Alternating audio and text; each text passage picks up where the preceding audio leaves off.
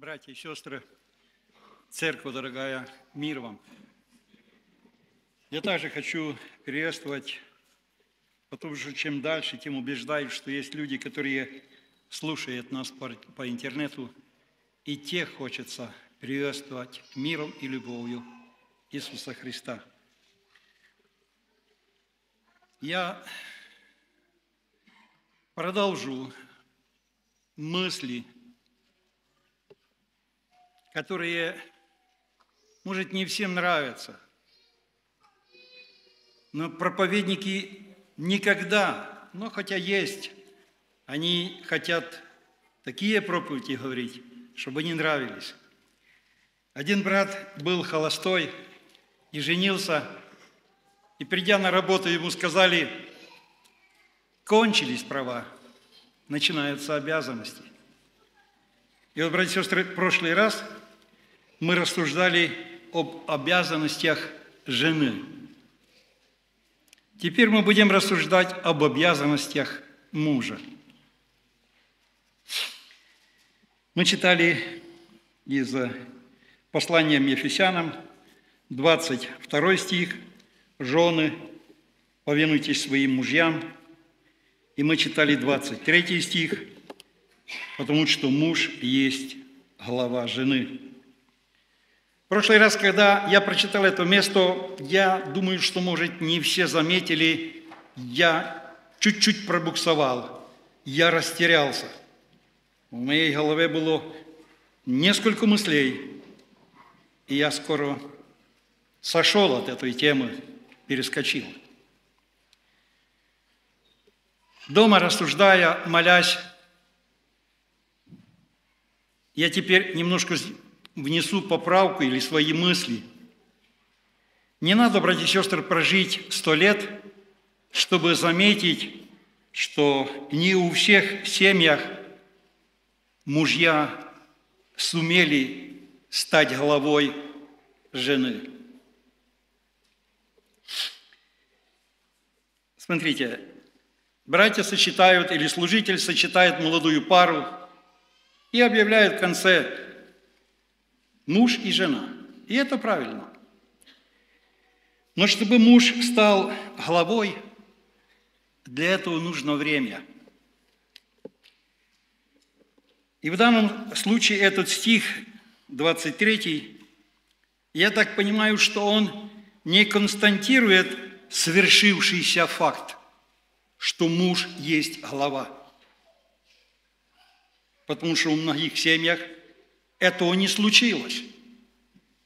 В многих семьях мужья не стали главой. Из этого стиха я вижу, что Бог предопределил мужу стать главой в семье. Такой пример. Это в третьей книге царств говорится, что от Соломона его царство хотел его брат взять. Ну, там вмешались пророк, вмешался, мать его вмешалась, и Давид провозгласили Соломона царем. Общество не все его так поддерживало. Я боюсь сказать такое слово, но есть в народе такое слово, что непризнанный царь или, говорят, голый царь царь, который еще не имеет той власти.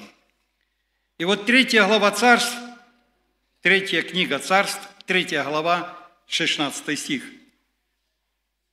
К нему приходят две женщины. Это особый случай. Эти две женщины жили в одном доме. Там не было никаких свидетелей. И вот у них получилась проблема. У одной женщины умер ребенок. Она поменяла. И они пришли к царю и та говорила мой живой, а та говорила мой живой, твой мертвый, твой мертвый.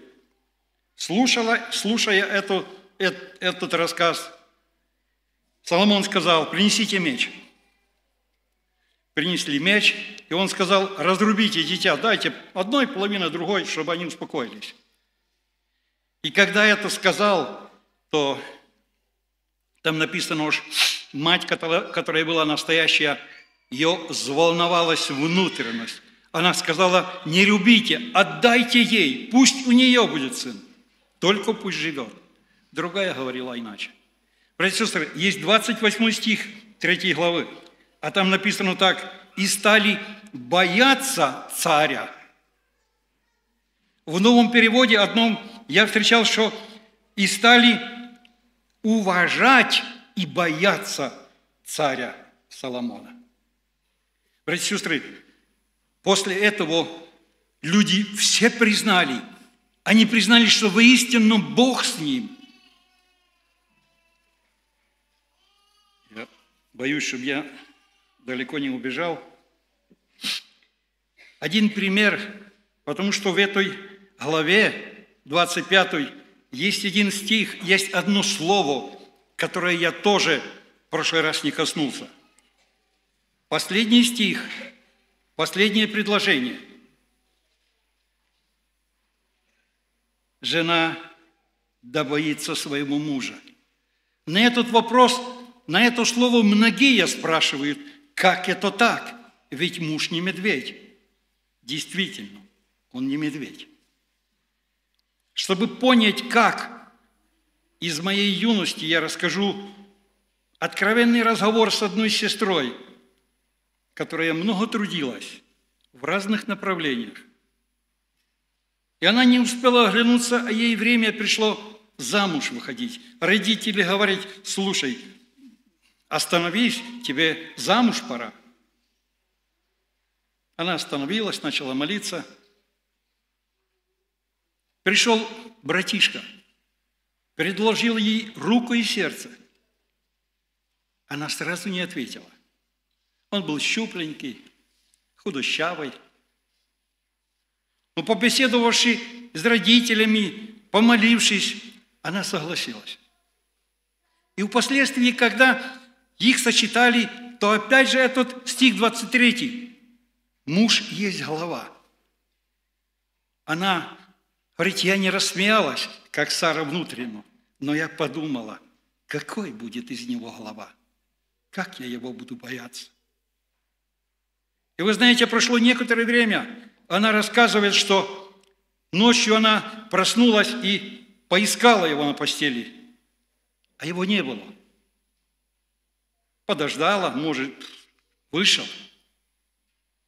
Ждет, нету.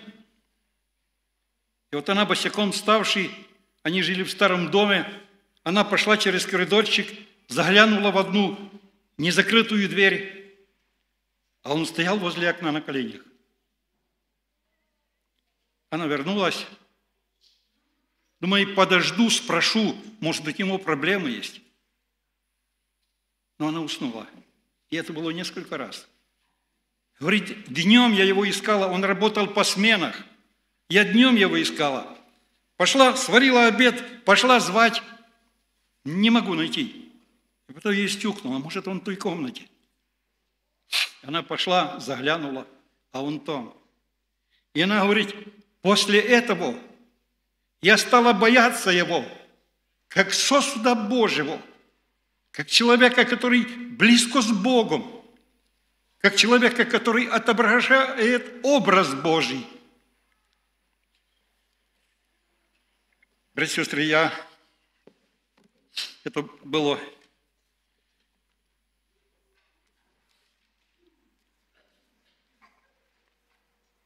У меня сегодня будут две мысли. Первая мысль, она написана в первом послании к Коринфянам, 11 глава, стих 3. 1 Коринфянам 11.3. Написано так. Апостол Павел говорит, «Хочу также, чтобы вы знали, что всякому мужу глава Христос, жене глава муж, а Христу глава Бог». В 23 написано, что жена является, жена имеет главу мужа. Здесь говорится, что муж, он тоже имеет главу Христа – и продолжается, что Христос тоже имеет главу Бога, Отца Небесного. Если бы, братья и сестры,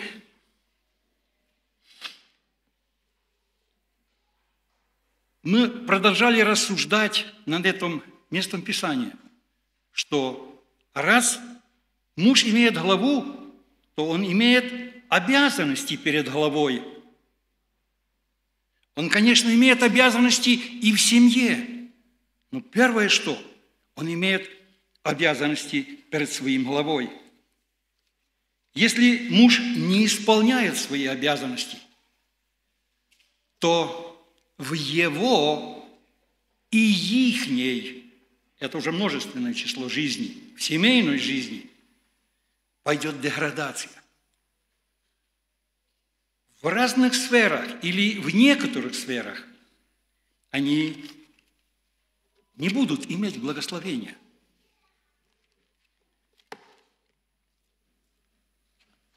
Братья дорогие, как у вас Христос является вашим главой, хотя бы так, как ваши жены считают вас за главу. Возьмем пример, потому что на примерах очень можно понять.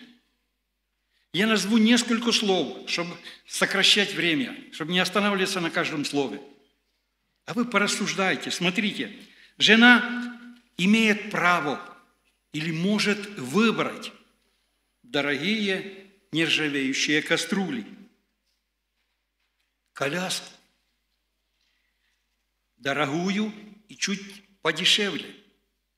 Она может выбрать новую постель. Она может выбрать страну, в которую семья ихняя пойдет в отпуск.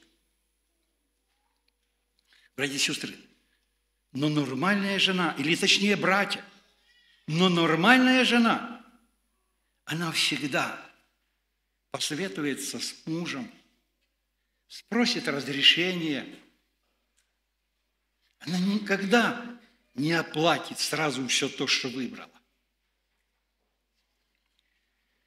Давайте другое, несколько слов назову. Муж выбрал новый мотоцикл – машину, квартиру, участок, меняет работу, позычает деньги. Как вы думаете, мужья, вы это делаете? Спрашиваете ли вы разрешения у своего главы? Я не говорю, что советуете ли с женой. Это нормально, если с женой. Так должно быть. Но я имею другое. Как мы, мужья, советуемся и своим главой, и с Иисусом Христом. Нужно ли мне менять машину или не нужно? Сосед поменял, я хочу. Разрешение у Господа, совет у Господа, благословение у Господа спросить. Рассчитываешь с работы, рассчитываешь с работы, меняю работу, нужно ли, не нужно – я знаю, один брат сказал, что он рассчитался с работы поспешно. Другой брат ему посоветовал, пойди, извинись, пускай дальше тебя примут на работу. Он так и поступил. Хорошо, если хочет человек послушать. Братья и сестры, мы продаем, или братья, мы покупаем, мы продаем. Мы должны советоваться и своим главой. Или, может, другой вопрос, как давно мы советовались с своим главой?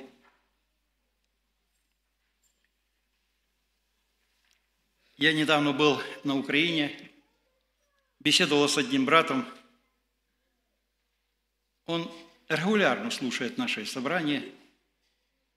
И он говорит, ему очень понравилось, потому что в вашем собрании говорится про дырявый кошелек.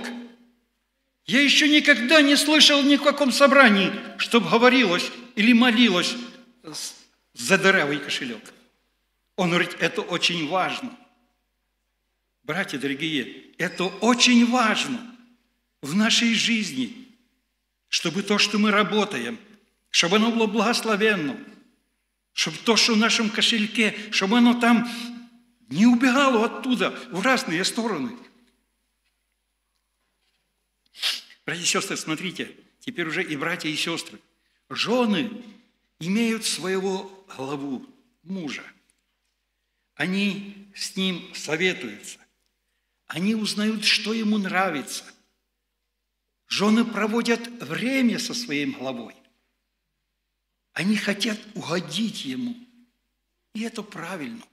Потому что в Коринфян так написано. Точно так же, дорогие братья, нам нужно советоваться и своим головой, и проводить время с ним.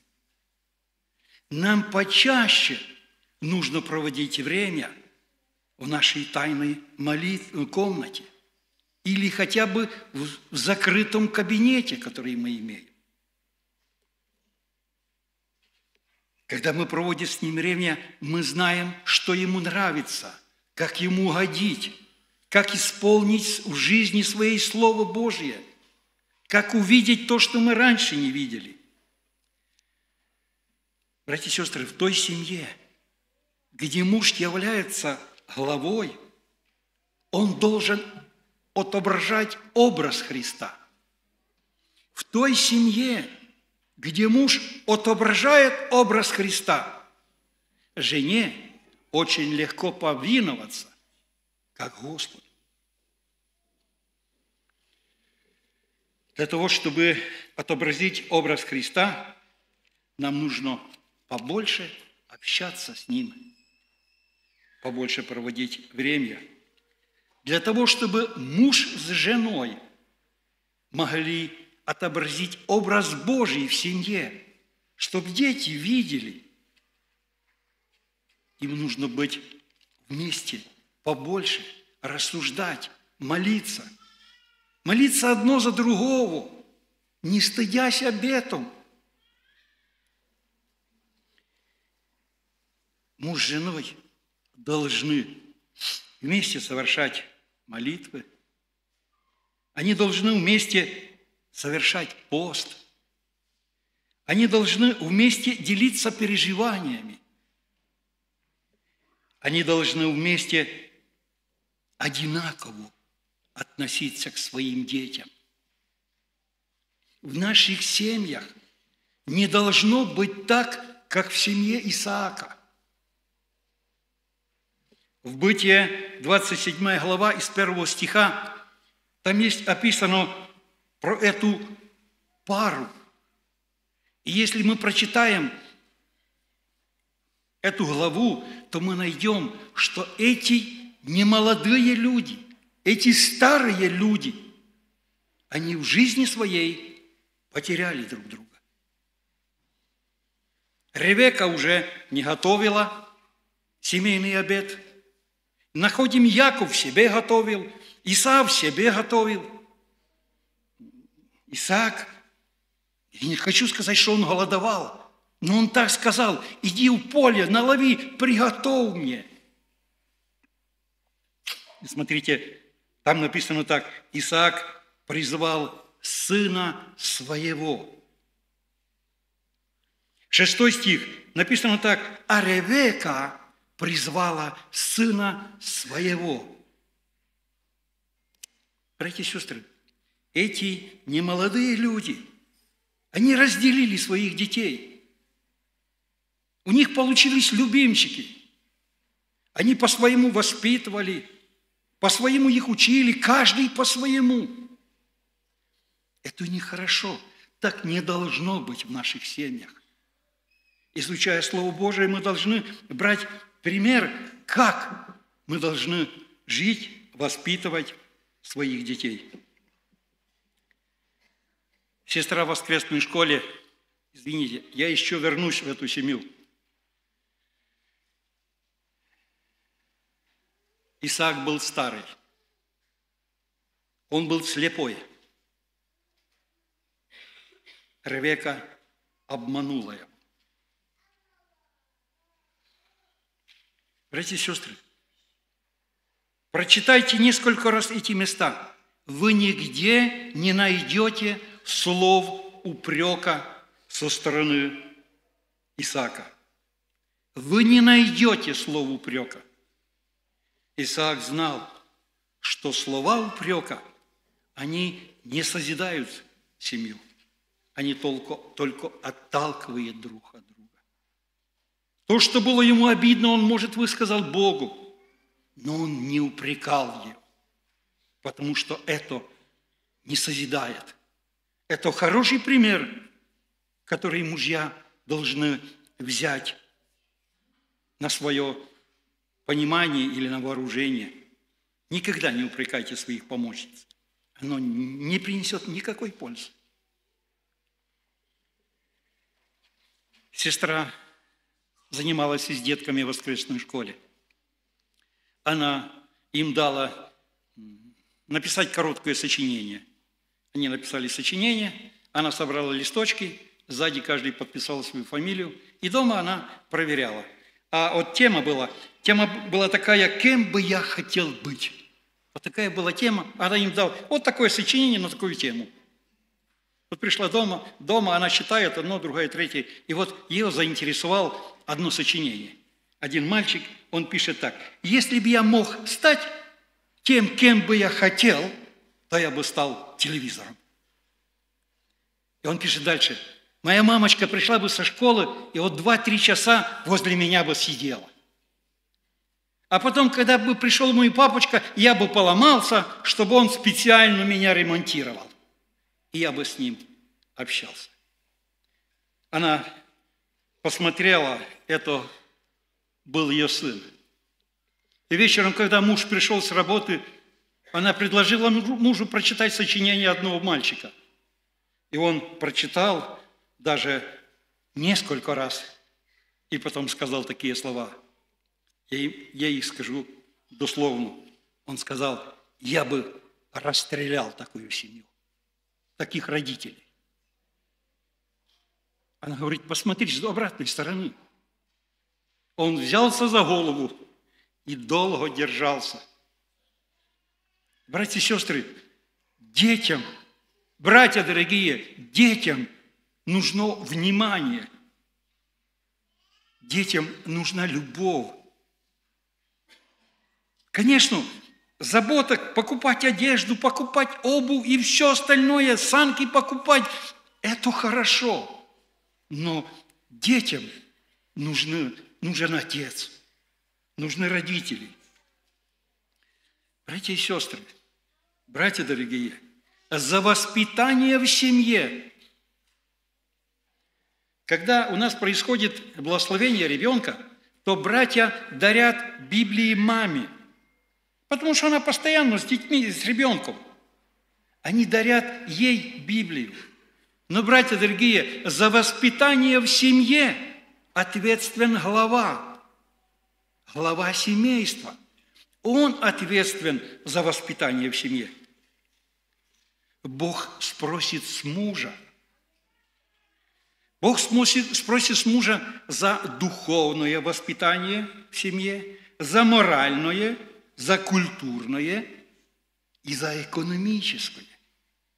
Бог спросит из мужа.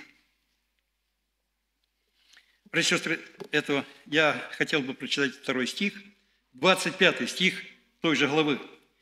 Мужья, любите своих жен, как и Христос возлюбил церковь и передал себя за нее.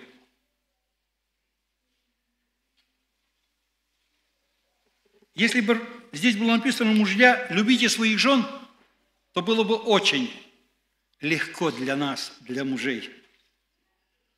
Каждый бы любил по-своему. Каждый бы любил так, как понимает. Но, друзья мои, здесь написано так, как Христос церковь. Мы как церковь. Он возлюбил нас, когда мы были грязные, когда мы были в грехах, когда мы были такие, что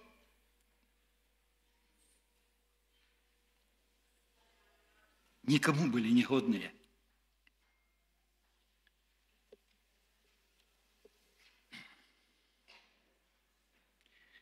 Когда началась война в Израиле 7 января, то на другой день один человек, у которого жену взяли в плен с дочкой, он на многих радио шел, он на многих сайтах, он, говорят, в татар, в эту страну, которая делала там между Израилем и Палестиной. Туда в Катар звонил. Я согласен, поменяйте меня за мою жену. Я вот слушал несколько раз его желание. Братья и сестры, это та была любовь, любовь жертвенная, в которой нуждаются наши жены. Братья дорогие, я сочувствую, что любить так, как Христос, тяжело, нелегко. Тогда, когда она бурчит, тогда, когда она бубнит, тогда, когда она не хочет слушать.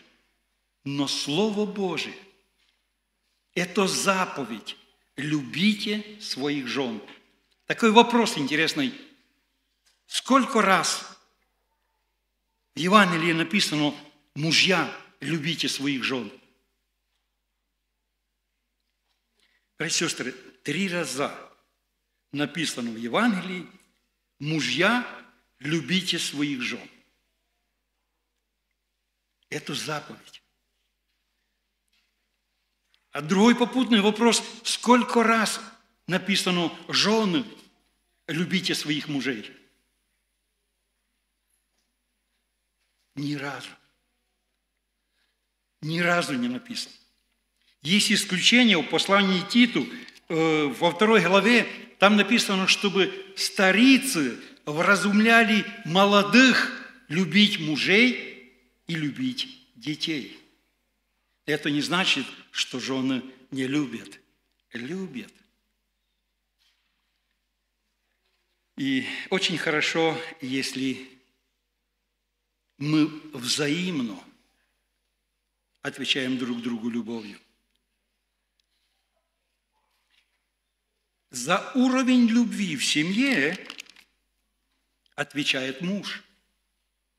За уровень любви в семье отвечает муж. Это заповедь для него.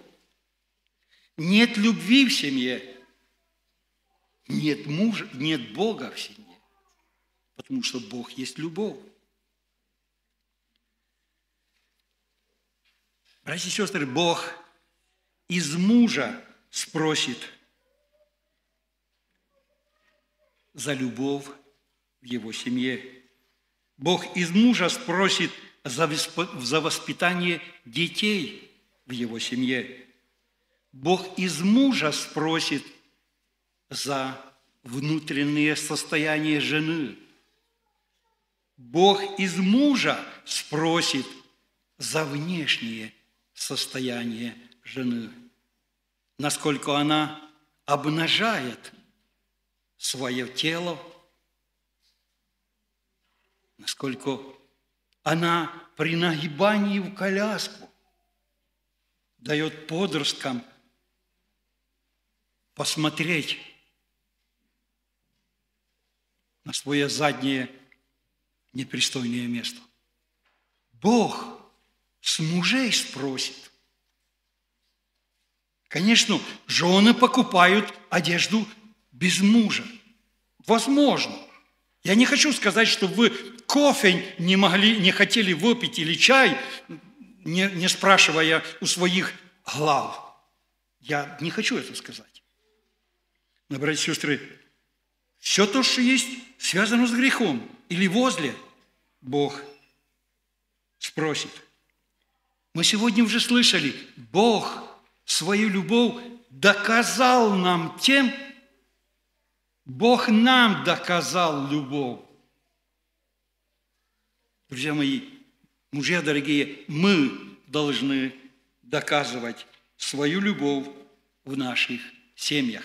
Вы спросите, как? заботой, угождением, восхвалять.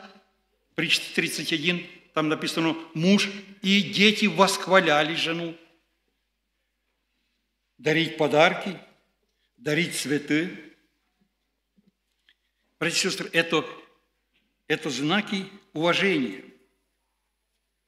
В 28 стих, 29 стихе в этой главе написано «питает и греет ее, как Христос церковь». Мужья дорогие, не стыдитесь, не скупитесь на добрые слова, на добрые поступки, на красивые букеты цветов. Вы с этим не сэкономите. Но хотел бы спросить, кто успел в этом году подарить своим любимым букет цветов. Но не хочется, год только еще начался. Братья и сестры, это очень интересная тема и нужная, и я бы не хотел ее продолжать, потому что время уже убегает. Мне еще осталось несколько минут. Я в прошлый раз советовал прочитать одну книгу, которая называется «Союз любви». Ее никто не искал, ее никто, наверное, не прочитал. Братья и сестры, чтобы сократить мою проповедь, я предлагаю другую книгу. Или прочитать, или аудиокнигу прослушать. Называется «Пять языков любви». Пожалуйста, кто читал эту книгу? Подумите. Прекрасно, но хочу сказать мало. Братья и сестры, если вы найдете эту аудиокнигу, его послушаете полтора часа, я ее несколько раз прослушал. Она вас сделать лучше. Она будет как раствор в вашей семье. Вы больше поймете друг друга. Вы больше научитесь, как уважать, как любить. Его звали Алмазов Владимир Андреевич. Это был доктор медицинских наук, профессор, заведующий Ленинградской кафедрой – Эту информацию вы найдете в Википедии или в каких-нибудь другой литературе. У этого профессора, разумного человека, на рабочем столе была склянка, а в склянке было человеческое сердце. И на этом сердце, на этой банке была надпись. Это случилось в 50-х годах, когда Алмазов был еще студентом. В их институт попала одна девушка, молодая, красивая, но она имела смертельно больное сердце. В то время ей не могли помочь. Да и в эту, в настоящее время лечат эту болезнь, операции делают, сердце меняют, но в то время была как обреченная. И вот она лежала в палате, и многие профессора проходили, спрашивали, хотели помочь. И один молодой студент влюбился в нее.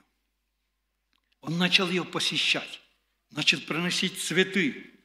Он убеждал ее, что она будет здоровая. И так дальше. Не прошло много времени, ее выписали из больницы. Не прошло еще много времени, они поженились. Прошло довольно времени на серебряную свадьбу. Они позвали тех студентов, которые остались, которые знали их начальную жизнь, которые знали ее, какой, какая болезнь у нее была.